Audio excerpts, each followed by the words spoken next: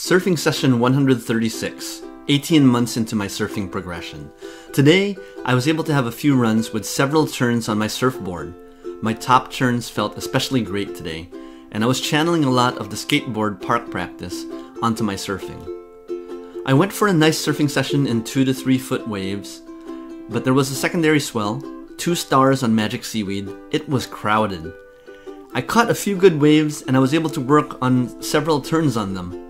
I felt a great sensation of acceleration on my top turns today.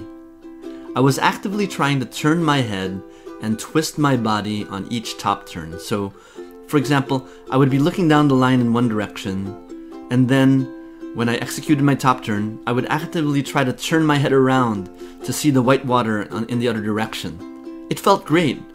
I felt like I was accelerating forward. I also felt like I was leaning forward more and touching the water.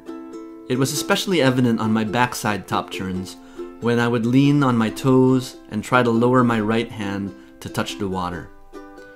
It felt like I was channeling all my skateboarding practice at the quarter pipe in the skate park. I've been taking my surf skate and my skateboard to the skateboard park to practice turns on the quarter pipes and the bowls. This land based training has helped me a lot to get my muscle memory.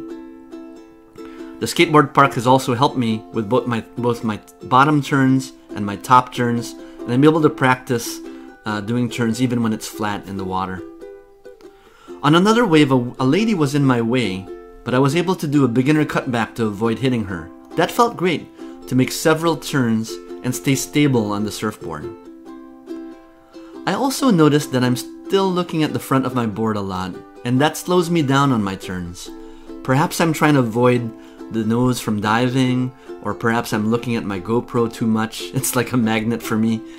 I can see the in the footage that when my gaze is down the line, or when I'm looking uh, around on a top turn at the other end of the line, that down the line the other way, I mean, that my board's rail carves more and that my surfboard accelerates better in one direction or another.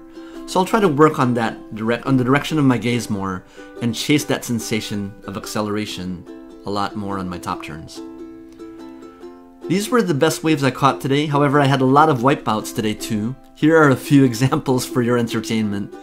The waves were wide and they seemed to, you know, they weren't A frame waves and they seemed to rise up and close out quickly. So we didn't have a lot of time to catch the wave or ride it.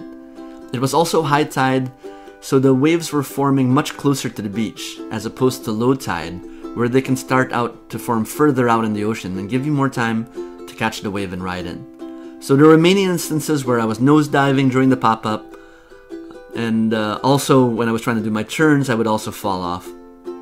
Despite all these wipeouts, I treat them as learning opportunities to see what I could have done differently, such as better positioning, arching my back more, or doing an angled takeoff to fit the wave better with my longboard. This, uh, thanks for watching. This is part of my surfing progression videos on my YouTube channel. I'm about 18 months into learning how to surf. I hope you liked this video. If you did, please click like, comment, or subscribe.